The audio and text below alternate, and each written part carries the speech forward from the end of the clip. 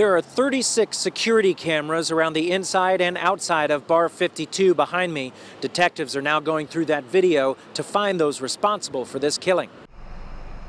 IMPD homicide detectives hope witness accounts and security video outside Bar 52 will lead them to whoever killed 26 year old Kenneth Keelan. It can be time consuming, but, but they work very hard to, to piece together the incident in a timely manner so that we can get justice for the victim. According to a witness who does not want to be identified, Keelan was inside the bar near the corner of English Avenue and Sherman Drive until closing time at 3 a.m.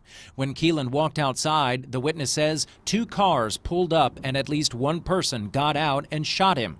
Keelan ran across the Dairy Queen parking lot next door before collapsing outside this home. He was transported to an area hospital um, where, despite best life saving efforts, he did uh, pass away at that time at the hospital. And that young man, I didn't personally know, but he used to wait on me at Kroger's down there at Twin Aire.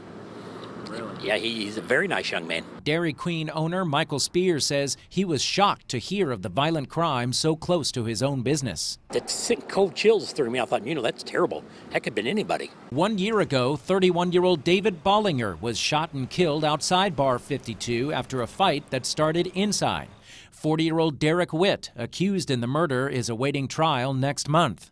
Spears says he doesn't fault Bar 52 management in this case. They have, you know, stepped up security around here with lights at night, police officer on the weekends, and extra security. But he is concerned for the safety of his employees and customers. It does send signals to you that, you know, what is going on around here late at night sometimes I don't even want to know. Investigators say there could be other witnesses out there they haven't spoken to yet. If you saw, heard, or know anything, you can call Metro Police or Crime Stoppers at 317 262 TIPS.